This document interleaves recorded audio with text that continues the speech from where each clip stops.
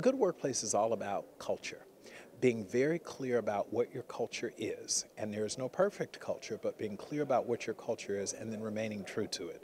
It's a proposition, it's a value proposition, it's essentially a commitment that you as the employer make to the employee.